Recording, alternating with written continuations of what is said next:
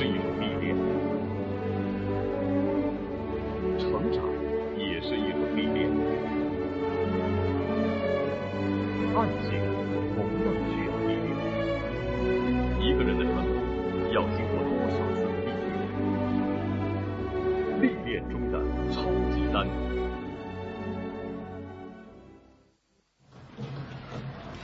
On course, twenty seconds.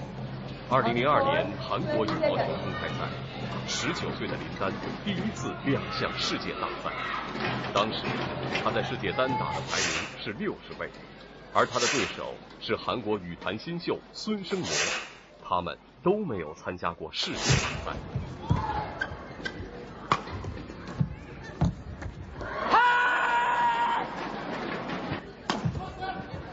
林丹在赛场上表现出一股霸气，最终以三比一力克东道主选手，夺取了自己的国际羽坛的第一个大赛冠军。从二零零三年丹麦公开赛，林丹击败世界排名第一的彼得盖，到2004年的全英公开赛，短短的一年时间里，林丹夺得五个冠军，一个亚军，世界排名一路飙升。中国的球迷记住了这个用行军礼的招牌动作向人们致谢的林丹，媒体给他取了称号叫“超级丹”。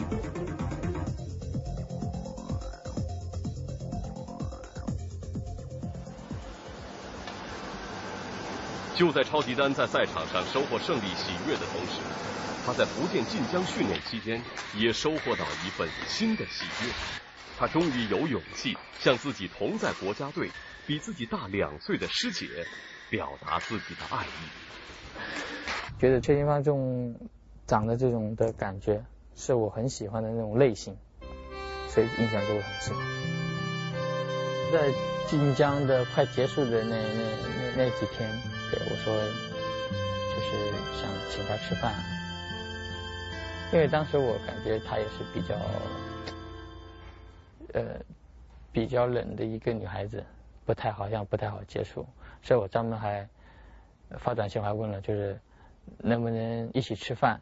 我还专门加了一个，就是两个人，还不是说要很多人，所以还还算比较幸运嘛，一开始没有被拒绝的感觉。喜欢他的人太多了，所以我也不可能说每个去顾及这么多，主要是我们两个在一起开心就可以了。就这样一顿饭吃完之后，两人的身份逐渐公开。羽毛球队里训练之余，总能看到一对令人羡慕的恋人。是剪太薄了，啊，放下来。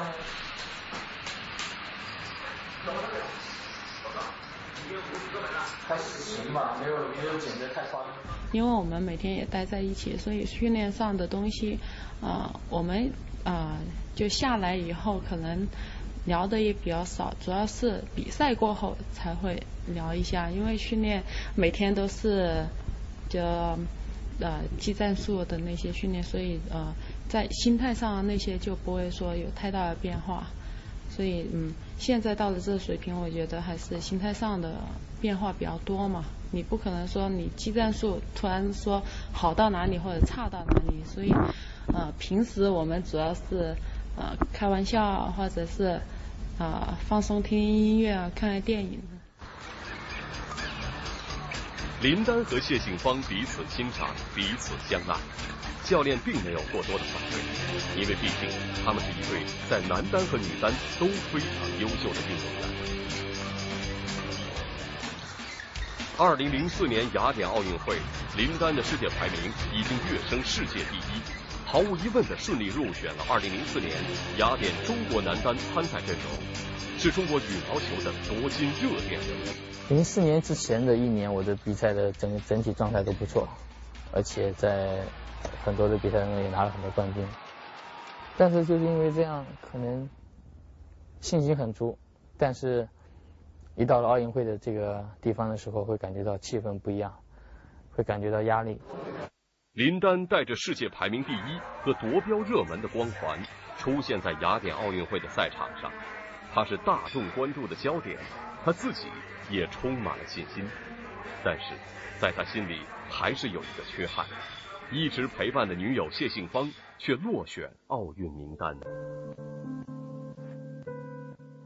奥运会之前有一个报名嘛，就报名以后，然后就知道自己去不了。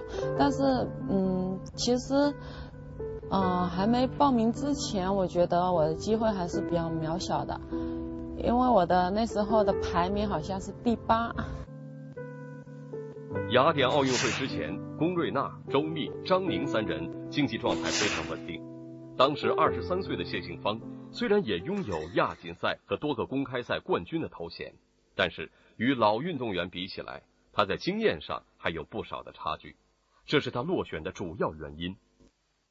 其实打到要赢了或者是加分的时候，我会紧张，就想着要赢了，然后就会想很多想法，就会说，哎呀，最后一个球我是发短球好了，还是发高球好了？这方面我会开始犹豫。其实这样也是很影响自己的最后的那样比赛的结果。当时就觉得他能不能够再坚持到零八年，其实这个是需要很很大的一个勇气，或者是很强的一种动力，他才能坚持到零八年。我觉得对他来讲可能是一种考验，他能不能坚持下来。一起训练却不能一起参加奥运会，在送别林丹的时候，谢杏芳只能把自己对奥运会的渴望隐藏起来。